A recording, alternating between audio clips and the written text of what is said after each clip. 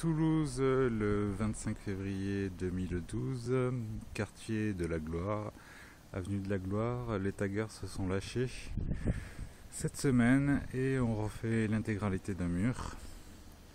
Alors des lettrages et un message. Le message est le suivant. Le dernier homme à en voir serrer la main de Jamel Debbouze et Chuck Norris. En voilà le résultat.